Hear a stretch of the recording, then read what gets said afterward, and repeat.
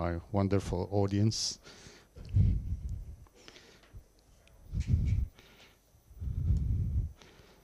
Um, this is a workshop, but it's not a lecture. Therefore, I need your feedback on what would you see and what I will be throwing to you to throw back to me. I'm starting with this statement. Building capacity is building the human side of your capital. You know who said that? Or actually, it's me.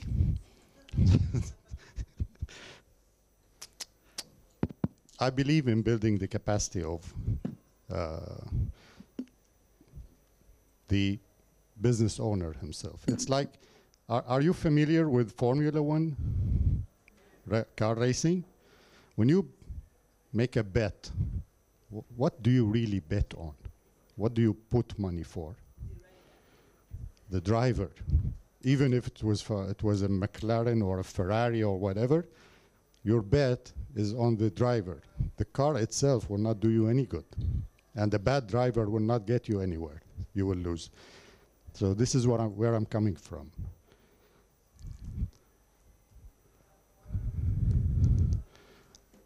Excuse me? This is not working.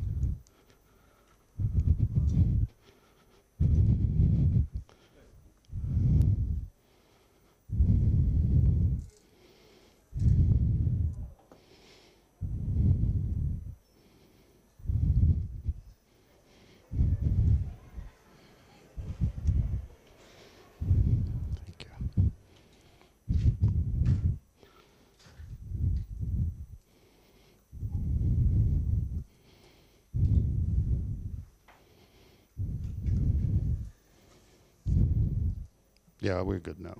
Thank you. So our workshop has two parts today. The first one is increasing startup success through innovation capacity building techniques. And the second part is about is investing in startup capacity building financially rewarding? We're going to see that together. We're going to discuss this together and we'll come out with some conclusions. Unfortunately, we only have 45 minutes.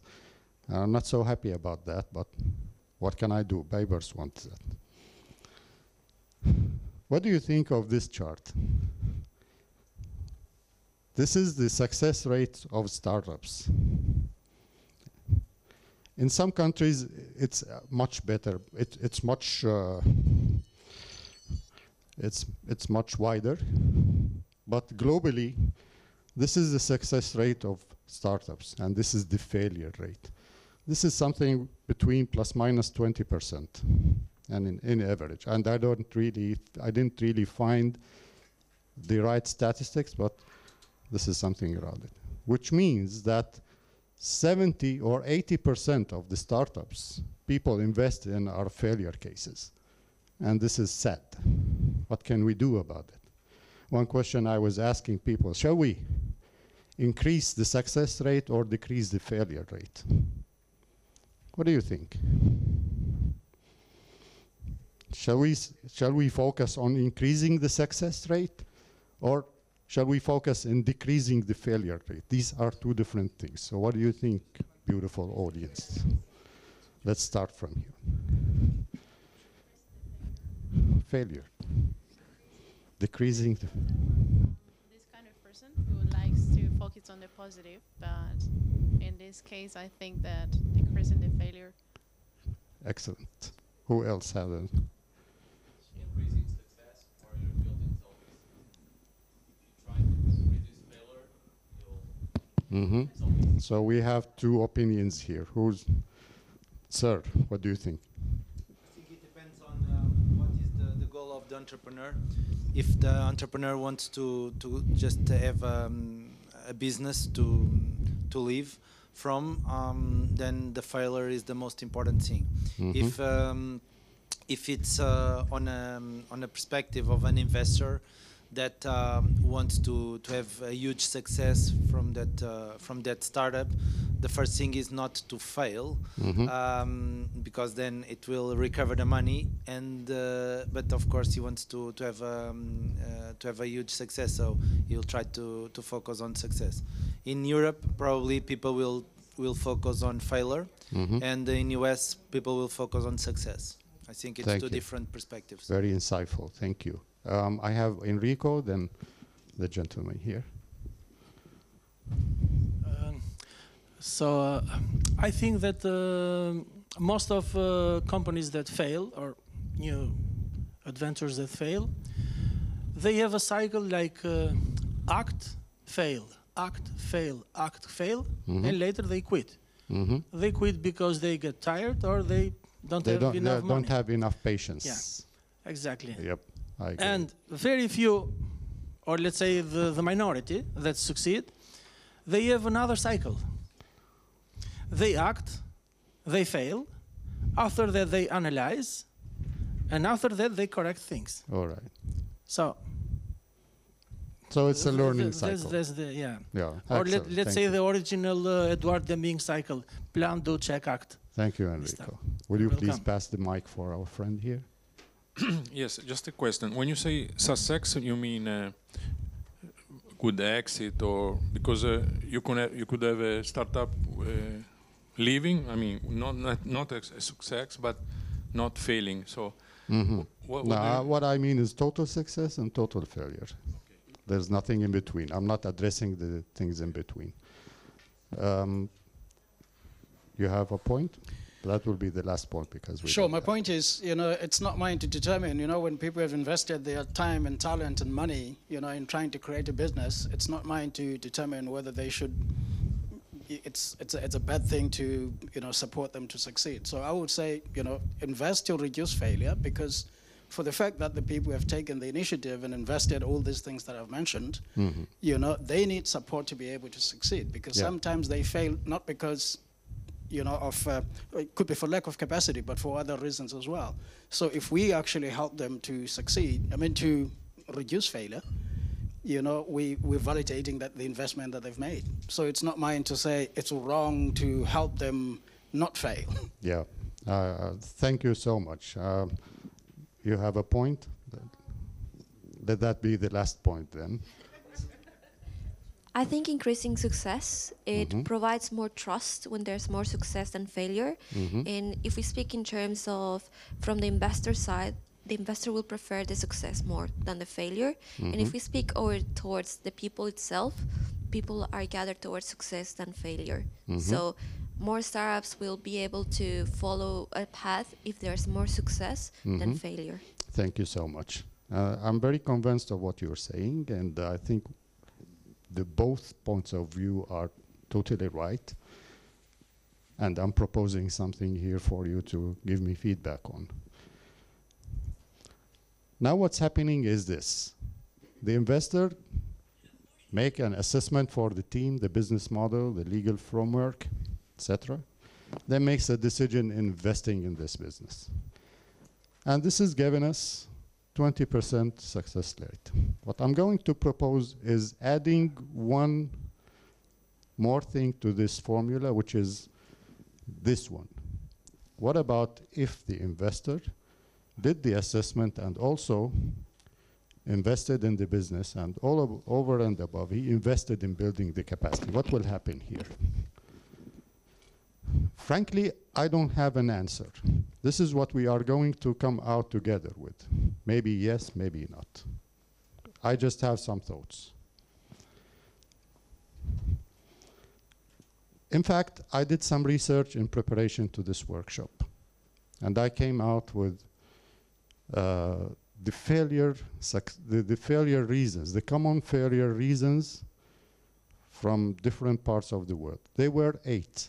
All of them shared these eight. Of course, there are thousands maybe. But what I found is these. I had pricing issues. This is one common. Another thing, I copied other and it didn't work. There were no market need. I had the illusion of control over events. I ran out of cash.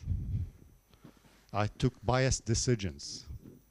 I was overconfident. Got outcompeted because of competition. There were technologies I didn't know about. There were new markets I didn't know about. There were new regulations I didn't know about. I think I'm losing audio here, sir.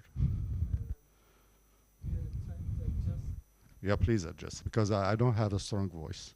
This is why I failed in the singing. Uh, so. Here we go.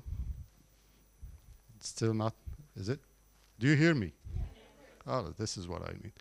So these were, according to my research, my humble research, these were the eight reasons for failure, for startup failure. hmm I heard someone saying something.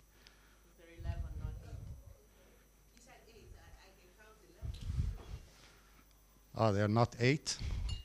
One, two, three, four, five, six, seven, eight, nine, ten, eleven. Why eight? Uh, Why did I say eight? Uh, There must something's sticking. Okay, they were eleven.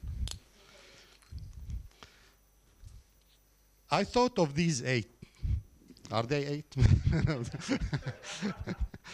I thought of these reasons. And I found that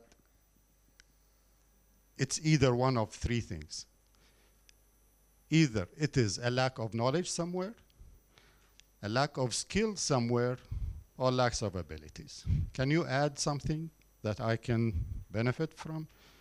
From me, I couldn't find more than these three things to link to those common f- failures. Well, um, lack of money might be lack of knowledge. One, one reason. So personally, I only could link them to three things within the eco- ecosystem. And that means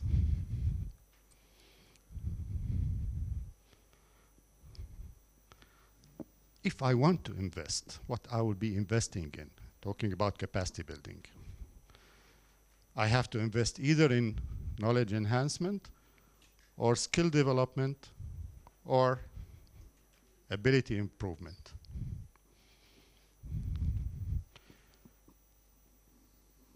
If you have a fourth component here, please let me know. I will add it. But to me, these are the three things I found.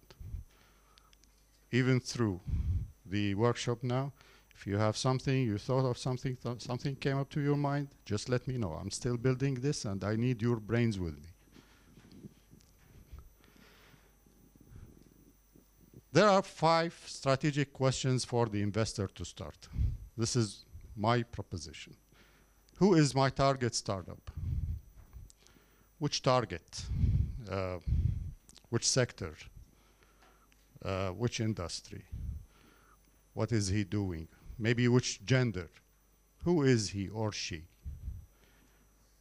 What is the proficiency level do I need to build this ca- to build capacity? Do I need to build capacity or not? Sometimes, like uh, Mr. Paulo Andres said, so, so many people come to him asking him to invest in their. Uh, so there's a question maybe you ask yourself. Maybe you take the decision that no, I don't want to invest. But when you want to invest, I think that this question is very important. Is he capable? Does he have or she has the proficiency to run this business and make profits and make my investment a good investment or not? This is a question. What is the level of communication I need? Now, it is a problem, and I don't know if you share that with me, that communication between the investor and the startups is almost zero. Do you agree? Do you agree with me? Do, do you see that this is something healthy or we can work on it? uh, I think uh, many entrepreneurs communicate a lot with the investor until the investor writes the check. suddenly the communication capacity drops dramatically Yeah. until there is a problem. They call. Uh, they, they need more money.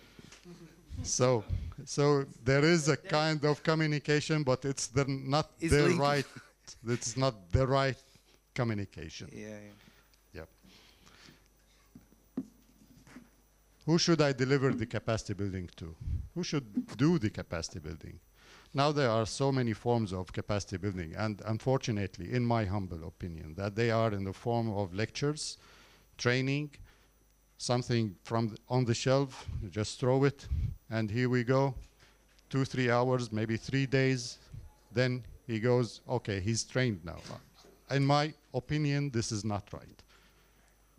And I will tell you later throughout our discussion why. The last question is how will I know that I have succeeded as an investor? How will you know that if you put money in capacity building that you have succeeded or not?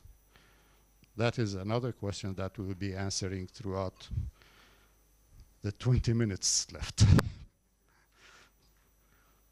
so, if you want to invest in building the capacity, what is the recommended capacity building techniques? This is something that I really wish to discuss with you because this is my baby. This is something I have uh, done myself. I have applied myself, but also I need your feedback on it to make it better, maybe, or maybe throw it. I don't know. Do you tell me. In my opinion, that the thing starts in the proficiency level desired. I need to know what proficiencies are needed for this startup to succeed. What is the proficiency level? Meaning that if I have the proficiency level here, then this startup logically will work. And we have agreed, or maybe you can add on it, that I have to work on knowledge, skills, and abilities. So what should I do after identifying the proficiency, the desired proficiency level?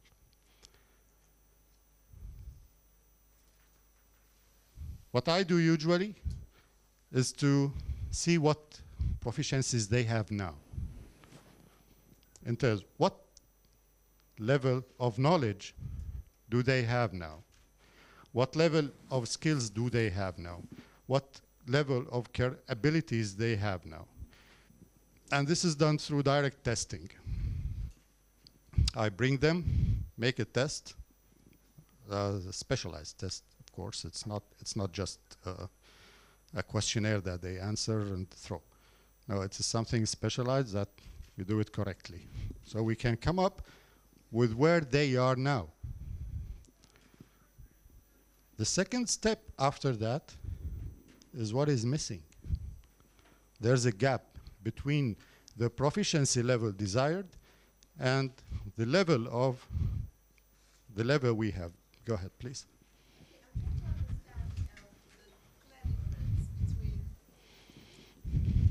Okay, I'm trying to understand the clear difference between Skills the and skills and abilities. abilities. Yes. I know, yes. Okay. Uh, I was coming to that, but since you've asked, now, if I explain to you what abilities mean, you will understand what's the difference immediately. Ah, sorry. Is is this assuming that we are investing only in the founder or the team, and not the product or Both both the project and and the the product? What I was proposing is that we are, as investors, investing in the project. What if we invest in the project and in the capacity building? We pay money here, we pay money there. What will happen? Are we losing or are we getting more money? What will happen? So we are in both ways. But my focus is in the capacity building side. Okay, and the second question I have is how do you determine the proficiency level desired of each individual or each each each um, company? Yeah. Now the proficiency level is something that you usually it, it's a big issue. It has five levels. So if you are in the beginning, you need to know a few things, and it it is related to what type of business you are running or you want to start. Now, if you're talking about something that has to do with fintechs or technology, then the proficiencies are different from someone who is starting uh, a manufacturing business. There is an international practice for this, actually. This is not something I'm coming with. It is an international practice, and we apply what is internationally has been applied. And as I told you, it has five levels, and we can just look at them, uh, analyze them, and see what proficiency level for each startup business we are addressing. So the second step is about defining the gap in between what the startup business owner already have and where shall we, what shall we do? Where is the gap to make him reach the proficiency level? Now back to your question about the difference between skills and abilities. Give me one skill. What is a skill? Give me one. Hmm? Web designing, designing skill. All right. Someone who can design is skilled in designing. But does he have the patience to continue time after time? Patience is an ability.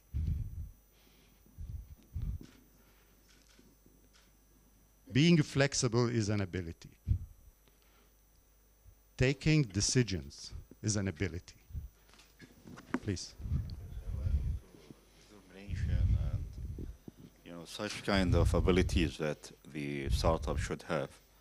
Determination is important. Persistent also. Mhm. These are kind that values I would say. These value.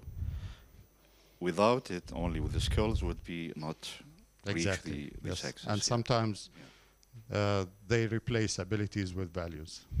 The KSAs.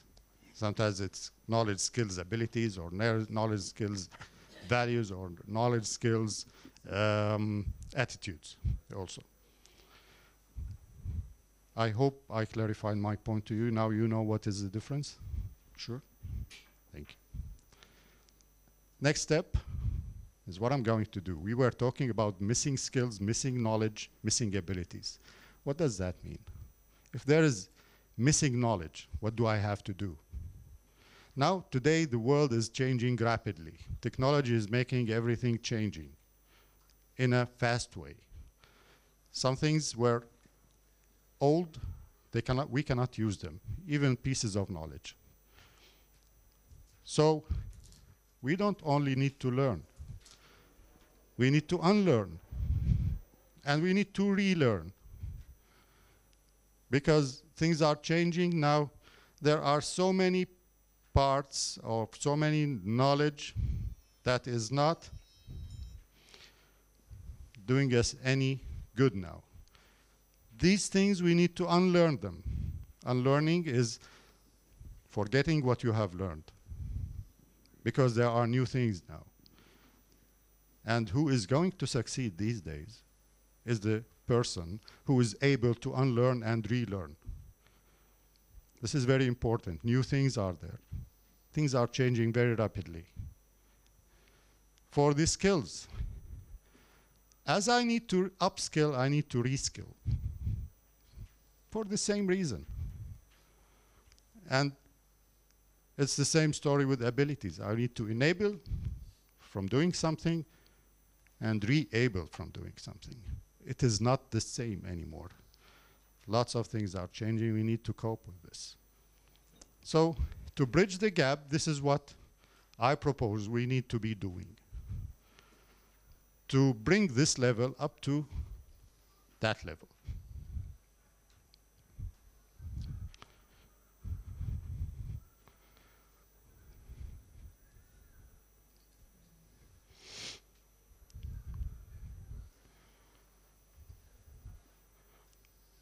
If we do this correctly, then this will go there.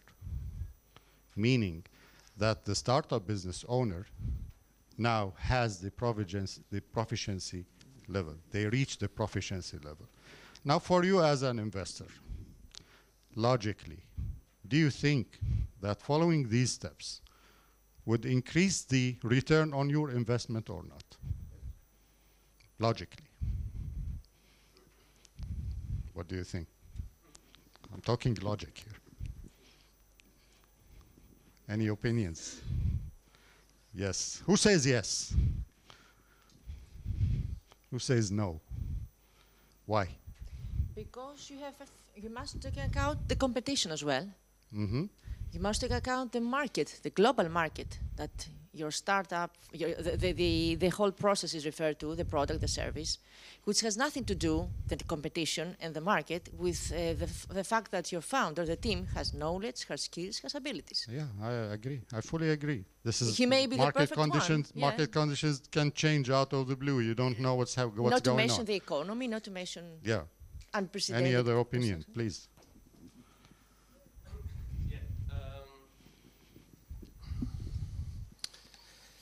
If to do that, Mhm.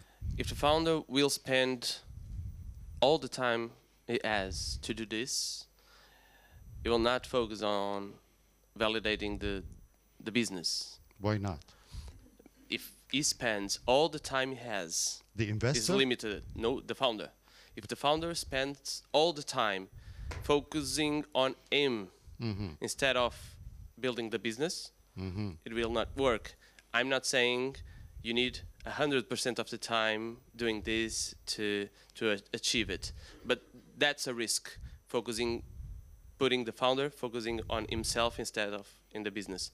Or you take more time to reach the same Valid point. place. So there has to be some time management with this to solve it, to make it uh, happen the right way. Excellent. Thank you for this. I will take that into my consideration. Please. But I think the way you conceptualized it at the beginning, you weren't saying it's going to be an either or, and you weren't saying that everything else would be ignored. So, to your point, I think the formula at the beginning that you showed was that you need to do everything else you would do when you want to invest in, in a business, plus what you're describing now. So, you're not telling anybody that they wouldn't consider competition and market analysis, everything we always do. I think what you're trying to show is that this has to be an additional layer of Mhm. complexity, right? That's true. That's true, but it is also a valid point that I will take my to my consideration, and I will really develop this thing according to wha- what feedback I'm getting from you, Yeah, Enrico. uh, according what w- we are discussing now, I think that there are three kind of people. First, there are people that invest in business. There are people that invest at himself to learn, and mostly they become academics. And there is uh, very few people that invest in business, and they're- invest in himself too. And these are the most successful people. Mhm. So, d- do you think that investment, investing, putting money in building the capacity will end up with more return on the investment? So you're giving an answer, which, uh, which is uh, something uh, I really love to hear, and I really love to hear the other side of it. Please, Malak.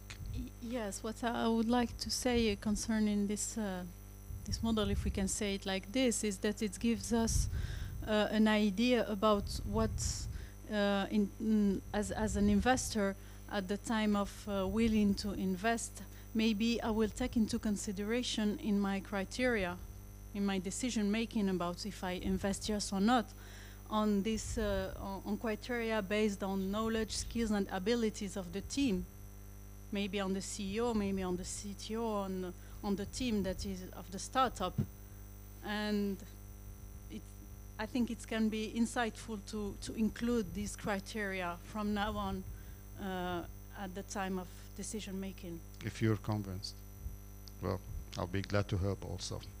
I'm just trying to find my way in this and with your help. Um, all right, uh, we'll go back to you. Okay, so I think investing in in in this skills uh, capacity building will, uh, should I say indirectly, increase the ROI. Why? Because it will reduce the chances of failure. Talking about market competition and changes and market volatility and all of that. If the team is knowledgeable, I want to believe that this knowledge is now all about them understanding their market, understanding the environment, knowing how to even follow predictions and all of that. So if they if they are knowledgeable enough, I mean, like if we if we increase their build their capacity to, I mean, to have this knowledge, to close this, the knowledge gap. I should think that will make them understand their markets better and so know how to follow competition, but even know who their competitors are and all of that. That's, that should be part of the knowledge. So, so I think that will just uh, overall increase their, their chances of survival and then your chance of a um, better ROI. Building the building the knowledge is not only building uh, technical knowledge. You need to know your competitors, Exactly. The regulatory framework, what technologies are there, everything that is around you that you don't know, you need to know about. This is what about. Uh, this is what I was talking about: learning and e-learn and unlearning and relearning. What's going on? What's new? What do I have to forget? What do I have to apply? Thank you for your point, Miss Nigeria. Good afternoon. Um, what I'm taking from this, at least number of slides you've gone through so far, is that when investors want to invest, they don't, they shouldn't just look at the product. They should think about investing their time in mentoring the the team that they're going to invest in. Mm-hmm. And I'm not quite sure knowledge, skills, and abilities cover all the aspects that you might find a gap in with that team. And you need to be looking at that team and thinking if they they don't have teachable, submissible um, spirits for you to imbibe your experience, your network, and generally mentor them through that time. After all, your money is involved. You know, you have to start thinking when you want to drop your money as an investor, think, my money is going in here. I need to take these people as a team and groom them. I that's what I'm getting from all of this. Do you agree on it? So I I agree completely. Thank you. so you. you deserve a bonbon. Thank you. All right. So after we reach the proficiency level, this is not enough. Uh, Ah, sorry, just sorry, please once go. because I have to go. Please, I'm Uh, sorry, unfortunately, didn't I, couldn't. I couldn't see the whole the presentation, but I've been fortunate ask enough to me, I will discuss with you before. Yeah, please. Um, I just have a question. Um, how much of your gut feeling you use when you choose teams? Again, I didn't get your question. So, h- how much of your gut feeling, instinct, feeling. yes, do you think in your by your experience? Hmm. Because here we are talking values, we are talking all the things that are subjective and difficult to qualify. now I in your experience, how much gut feeling do you usually use Yeah. to take Well- that decision when choosing teams? Excellent question. I will answer it from my background. My background is credit. And I always followed my feeling when I evaluate the character of that person. It happened so many times in my career life that I met people who have who has everything all right. All the numbers are okay, but I didn't feel good. And it was turned down. This is very important. Now, when someone asks you to invest in him or in his business, and you feel like he's a hizzy wizzy guy, from my background, I will drop it. I will not take the chance. I hope that answers your questions. It's very important. It's a deal breaker, at least from my point of view. If someone else has a point of view, it's very much respected, unless you all agree on that.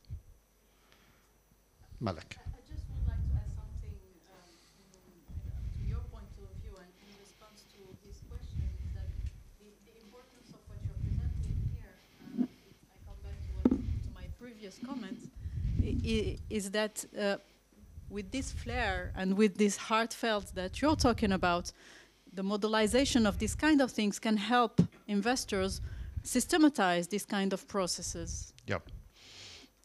You know, th- this this doesn't have an equation. For people have different cultures, different backgrounds. Yeah. When I deal with my people, I know who's hizzy wizzy. But maybe if I deal for, with someone from another nation or from another culture, I will be tricked. I don't know. So this is for you to judge on, and this is your own way of judging on people's character. So it is something that I really believe on, but it's an individual thing at the end of the day. There's no science that can as far as I know. You can say one plus one equals two, and this is yes, this is no. This is a gut feeling, yes. uh, he said. Please.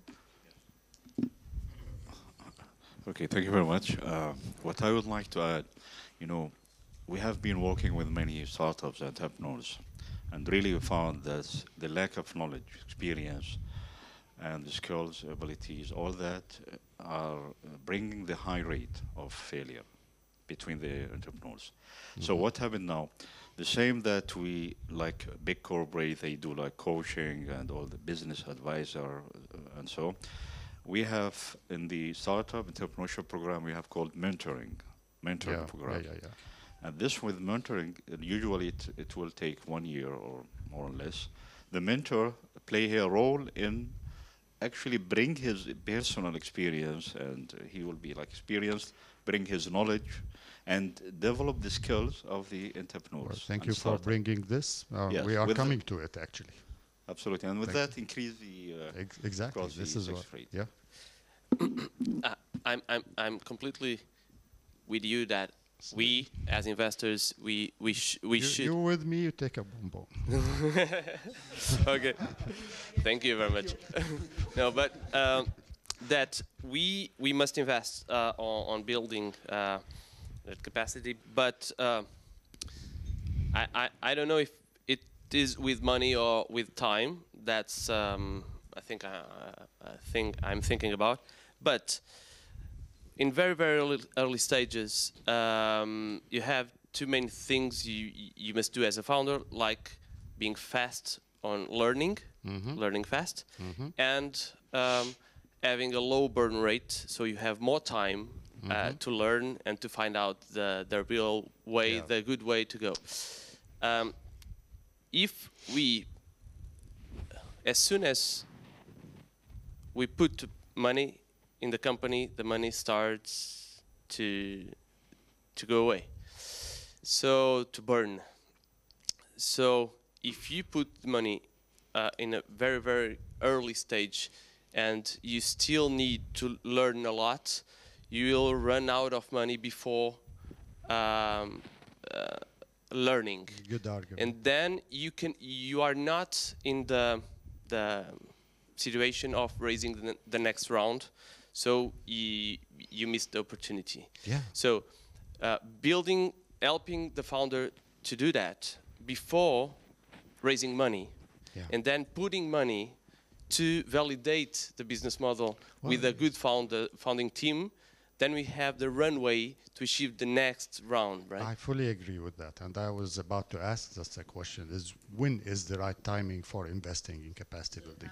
But you, you guys, hmm? You agree with him, have a sweet from him. Well,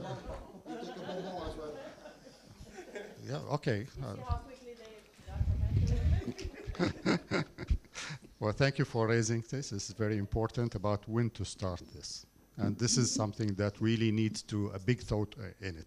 it we, we need to know when and how, if we are going to adopt this way of investing in capacity building. Maybe we will come out with a with, with a result that it's not the right way to invest. Maybe. Please, I don't have much time. I'm sorry, but Uh, about skill and uh, competence, com- skill and, and knowledge. Yeah. I mean, it can be done uh, uh, because it's possible to learn.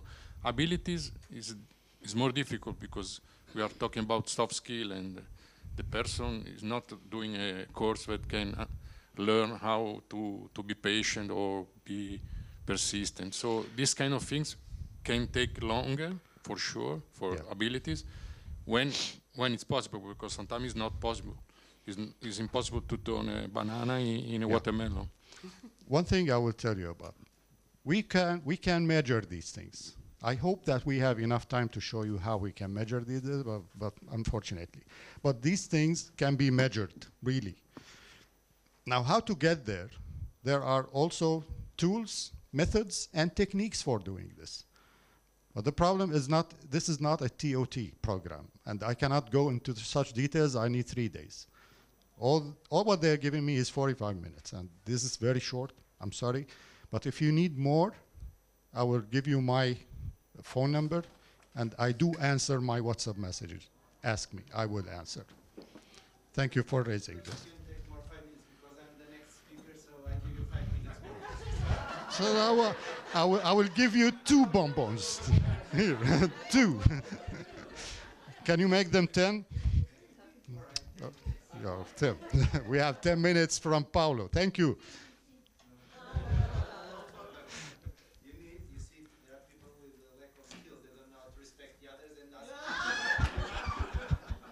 no comment. No, I think everyone, every everyone here is so nice. You are wonderful. Actually, I'm very grateful that you are sharing with me and give me the benefit.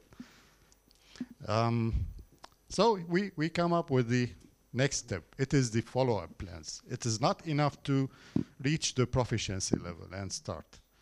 So the follow-up plans is mentoring. This is one thing. Coaching is another thing, and evaluation. We need to plan this in order to see are we really getting results of this investment in capacity building that we are making or not. So it's not only man- uh, mentoring. Mentoring is a very good thing, but we can add to it coaching. What is coaching? What is the difference? Who can tell me the difference between coaching and mentoring? And I will give him a bonbon. yeah, who's Coaching also goes to a personal level. Mentoring is focused on business part. yeah, all right. Paula. Mentoring is more long term, and uh, coaching is more short term. Short term. Thank you. Anyone would like to add something here? Enrico, please. Okay. Okay, we'll get back to you, Enrico. Uh, mentoring is actually also that you uh, bring the uh, advice and advise the me- the internship and your knowledge experience in in unstructured form. Mhm. That could be not like the coaching. Coach is more uh, form structured. Structured. More structured, and also uh, there will be like performance driven. Actually, it's That more will- than yeah, that on the makes it more yeah. clear. Thank you. Um, Enrico, please. Uh, I think that uh, coaching and mentoring uh, have some differences which are which are important. Coaching spend more time in daily basis, Mhm. while mentoring don't spend time in time in daily ba- uh, you know in daily Mhm. basis. Uh, on the other hand, uh, coach give the answer, while mentor don't give the answer. Just- mentor gives the options. The options. That's, Yeah. That makes it even more clear. Thank you, No, no. Enrico. That's very insightful. So, these were the stages. I will go through them very fast for you to. Actually, I'm, I'm not much into the beamer. I prefer writing and putting on the wall, but we have to do this for, for this. Uh, so we were talking about the reasons of failure, which I thought they were eight, and now I know they are 11 and uh, said talked about the investment, the knowledge uh, in knowledge and skill and ability. The five questions that uh, the investor needs to ask. You can think of them or add on them. What is the recommended capacity building technique? Said that we determine the proficiency level, determine the current level of knowledge, skills, and abilities, define the gap, which which uh, missing, which knowledge, which skill, which ability is missing. Then we do learning, unlearning, upskilling, reskilling, re-able, enable to bridge the gaps, and we build the proficiency level and follow up with the follow-up plans where we can make sure that we are on the right track. So, the big question now, will this come out with higher success rates? Will it come out with financial returns on the investment? For me, logically, it makes total sense. Yes, it will. A better, a better driver drives better. A- yeah. I think that the only question is to select the ones that already have the best drivers or to transform an awful driver into a good one. Of course, you don't need awful drivers. Some drivers will never learn. of course. So I, I don't think I completely agree with your statement over there. Well, give me my because- bonbon then. Oh, well, you can it. Okay, the, the reason I'll, I'll say that is this, and, and I think I'm beginning to lis- hear what the lady over there was saying. Yeah. Um, when when you have uh, a team that is not altogether there, and you spend time in investing in them, yes, you get to the level that they should have gotten to if they had invested in themselves initially. However, eventually, if you're investing in a product and you expect a return, um, let's let's focus on the product now Yeah. and you expect a return. However, you, you now find out that you have to take a few steps back to invest in your team. Mhm. Would you really get more than that particular value? The answer is potentially no, because you have already, that's where you were going anyway. However, if you had better drivers initially Mhm. and you did a projection and then you enhanced their um, competencies, then you get perhaps, perhaps, probably more return than you initially were supposed to have. So what you just my argument. What you're telling me that there are acceptable limits and unacceptable limits to these, right? So the, the profession, the proficiency level desired is an acceptable level. what, what is yeah. it again? Your proficiency level desired, right up there, is an acceptable limit. That, that, that this one is a good driver already. He's winning prizes. Absolutely. But so, I'm, I'm talking about a driver who knows how to drive. He made some success. But in order for you to win your money back, you want to make him a better driver. So what you're saying, in my understanding, is that if the current level is somewhere here, just drop it. Don't bother about it. No, If it is somewhere here or there, go that's ahead. not what I'm saying. What Ah. I'm saying is that when you get to this in, uh, the team and you want to invest, you do this analysis. You realize this is where you are. You do the analysis of the product and you realize this is my return on investment, right? And you Mhm. decide that this is how long it's going to take me to get my money back. Mhm. At that point, you know what when, right? And you decide, okay, let me take a few steps back and invest in these people. Mhm. At the end of the day, your question there was, do you get your return on investment? Mhm. Yeah. But then, do you really get it? Because you have added more in terms of investment in these people than, I don't know I, I will ask you the, the same question in a different way. Do you think that in raising the capacity and building the capacity, we will be having less failure? No, th- so this is my point. Um, at initially, you did your ROI based on product. On product. On product, Yeah. right? And then you decide, oh, there's a. Then then you're saying we should al- also add, um, If needed. if needed, Yeah. add this. If needed, add this. Would you get more than that ROI at that point in time? This is what I'm trying to discuss with you and Right, come okay. out with a with an with a, and this is the second part I will be Oh. addressing now. Show, to show you my proposal and then tell me what you think. Okay. Because quantifying this is not there yet. There's no quantifying for or, or a way to calculate the return on investment out of capacity building. This is not in the, in the world yet. This is um, what I'm trying to, with you, find a way to quantify it. So I will, after your permission, continue.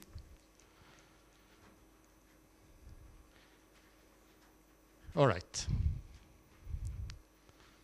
To startups, they have learned, unlearned, and relearned. They have been upskilled and reskilled, enabled and re-abled, and logically, there will be a higher proper probability of success. In addition to, there will be more value of the management team.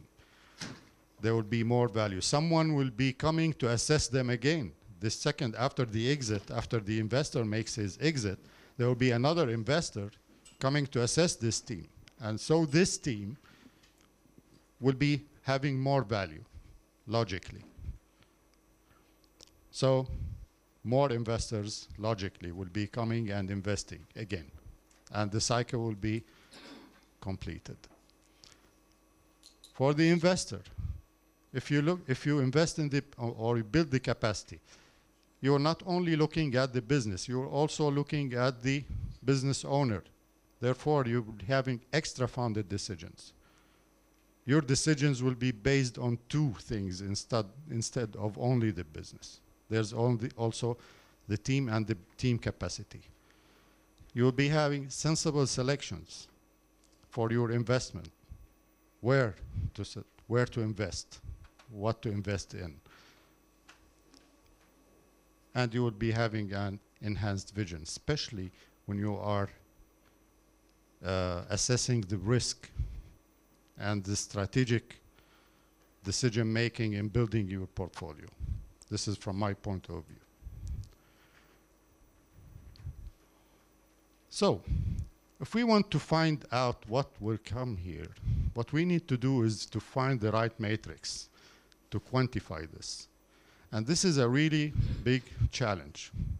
I didn't know if anyone knows a way of quantifying this.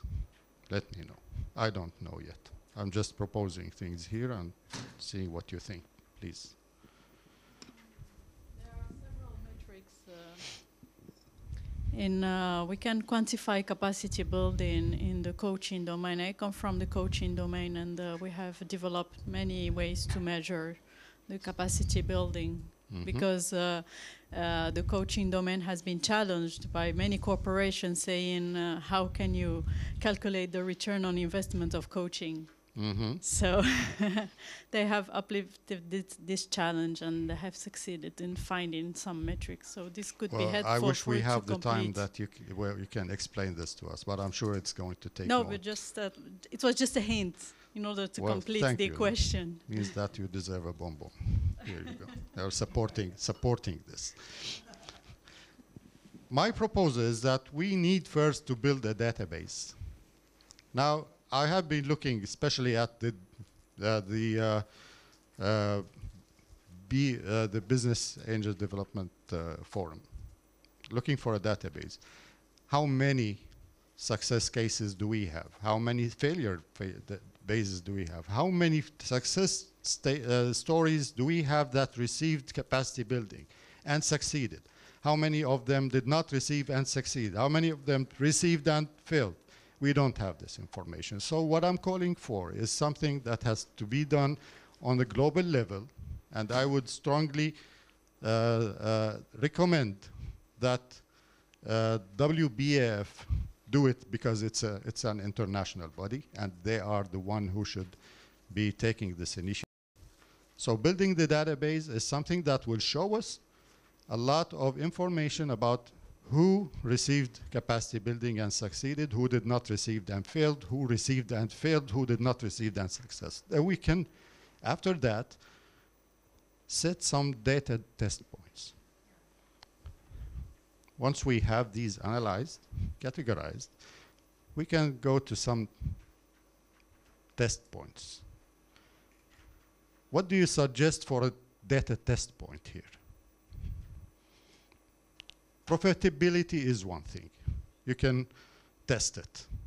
So if you have capacity building investment programs, you start watching what was happening with profitability. What else do you suggest? It's a complex one, but it's satisfaction. Satisfaction. Customer satisfaction or No, self-satisfaction? No, no, no. Uh, investor satisfaction and founder satisfaction. Investor and founder. Founder Excellent. satisfaction. This is this That's is a one complex one, but it's a mix of things. But uh, I think it works. satisfaction. Um, I, I would ag- fully agree with you, but when I say test data points is something that you can measure. I mean, wha- the reason I gave profitability is that you can give a number. Well, we would be happy to cooperate with that. Maybe efficiency.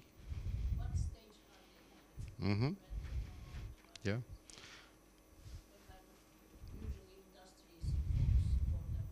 Yep.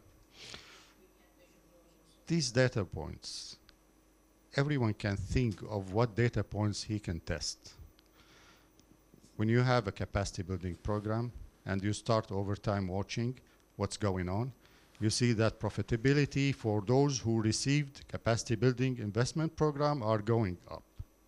Or the efficiency is getting better, the numbers. Or what? Who can suggest something else? Failure rate? In the, in the business itself or the whole? Uh, the whole. That's the trend. Yeah, please.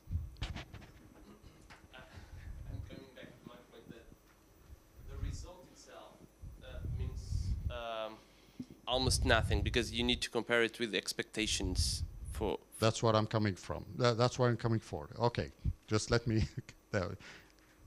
this this guy, this guy is always. What what I would like to see as well is the topic how is it related to the general economy because that also has an impact yeah and if you're in a growth economy then that will have a different impact than you're in a declining That can be a data test point also.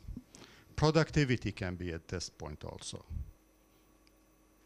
So many test points we can Uh, measure or see how are we how are they going because we have applied capacity building investment programs. As you said, we can make predictions or set targets. If talking about profitability, I think that the profitability will come up by like 20% more if I have applied a capacity building investment program. You set these data test points, we make a kind of prediction, we set targets for them. My targets, of course they has to be they have to be logical targets so we can really measure. And sometimes it's wrong, sometimes it's right. All right, I'll finish. Come on. Not time for you. Will someone help me with this? it's not.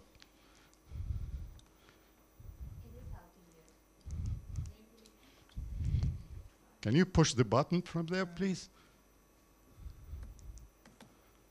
My God, not, it's not time for it. No, uh, me- needs to be reset there. It's on.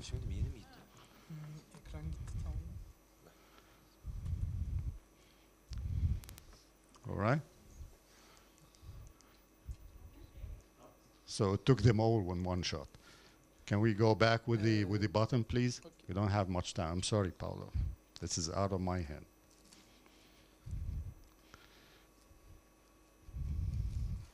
All right, this slide is okay. This slide. This is the last slide. Just please put the last slide. All right. I'll jump to the last slide. Now, after we set the target data point, uh, the targets, my proposal is to deploy these capacity building investment programs, then move to comparing the goals with the actual. This is my prediction and this is the actual. What happened? So, what I have predicted is what is the, uh, is the matrix that I will be using.